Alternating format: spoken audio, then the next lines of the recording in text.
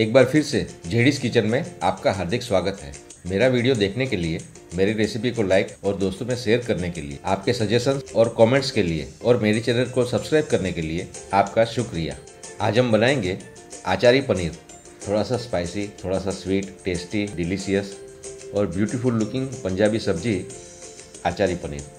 तो दोस्तों, सबसे पहले आचारी पनीर के लिए फ्लेवरफुल और स्पाइसी ड्राई मसाला तैयार करेंगे।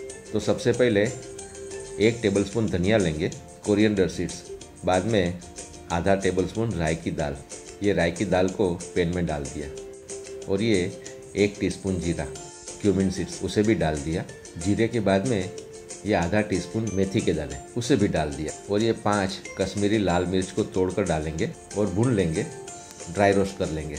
दोस्तों, धनिया जीरे की खुशबू आने तक भुनेंगे। करीब एक मिनट तक भुनेंगे। ज़्यादा वक्त नहीं लगेगा। एक टीस्पून बड़ी सौफ, उसे भी डाल देंगे। देखिए, हमारा मसाला भुन चुका है। अच्छी सी खुशबू आने लगी है। उसे उतार कर साइड में रख देंगे ठंडा होने के लिए। ये ड्राई मसाला ठंडा होने पर उसे ग्राइंड कर लेंगे। देखिए, हमारा ड्राई मसाला रेडी है।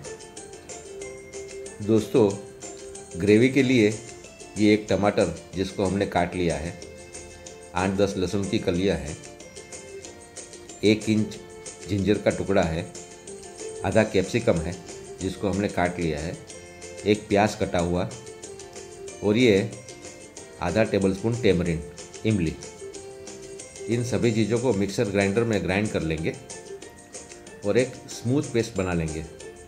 दोस्तों, अब पनीर को मैरिनेट करने के लिए आधा कप दही चाहिए। ये आधा कप दही को बाउल में डाल दिया और इस दही में भुना हुआ मसाला, ग्राइंड किया हुआ मसाला, फ्लेवरफुल मसाला डालेंगे और अच्छी तरह से मिक्स कर लेंगे।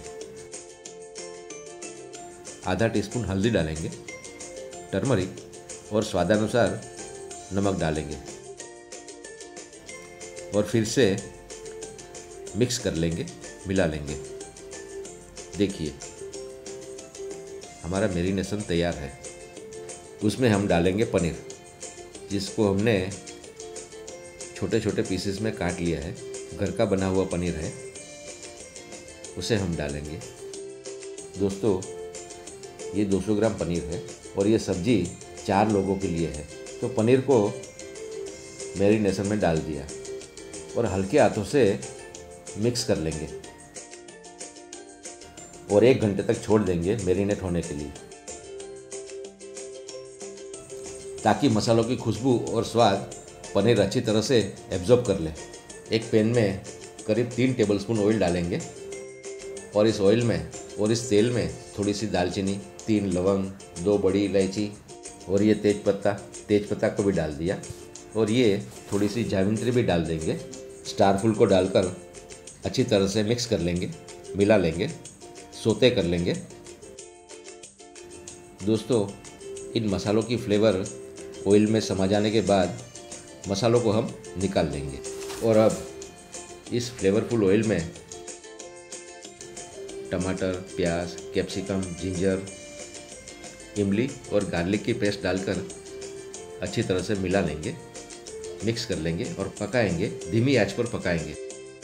जब तक ऑयल ग्रेवी से अलग नहीं हो जाता तब तक पकाएँगे। देखिए दोस्तों ऑयल अलग हो चुका है। हमारी ग्रेवी तैयार है। अब उसमें हम डालेंगे पनीर।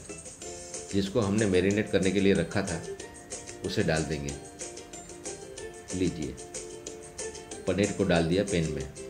और धीरे धीरे बड़े प्यार से मिला लेंगे मिक्स कर लेंगे।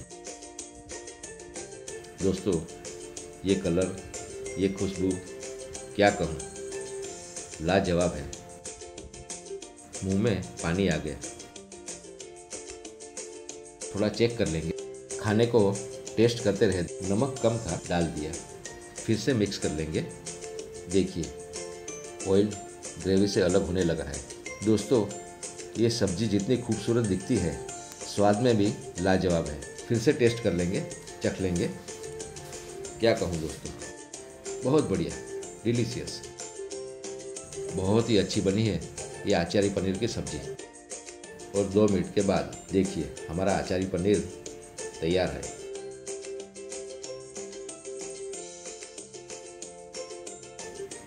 आधा टीस्पून गरम मसाला भी डालेंगे।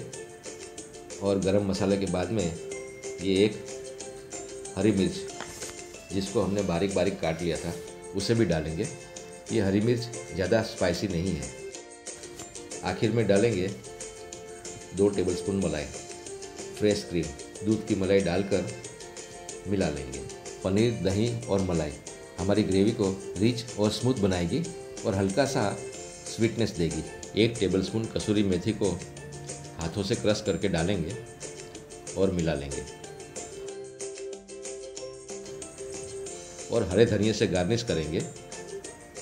और गर्मा गर्म सर्व करेंगे। आपकी अपनी रेसिपी आपके अपनों के लिए। आप भी बनाएँ ये आचारी पनीर और उसे रोटी, नान या पराठे के साथ गर्मा गर्म सर्व करें। तो दोस्तों, ये आसान रेसिपी आचारी पनीर आप ज़रूर ट्राई करें और आपके अनुभव हमारे साथ शेयर करें। आपके कमेंट्स और सजेशंस का हमें इंतज़ार रहेगा। अगर आपको ये रेसिपी पसंद है तो लाइक कीजिए और मेरी रेसिपी को दोस्तों में शेयर करें।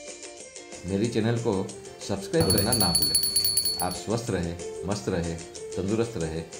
आपका दिन शुभ हो मंगलमय हो इसी कामना के साथ। दीपावली और नए साल की ढेर सारी शुभकामनाओं के साथ फिर मिलेंगे कुछ ऐसी ही मज़ेदार रेसिपी के साथ। तब तक मुझे आज्ञा दें। धन्यवाद।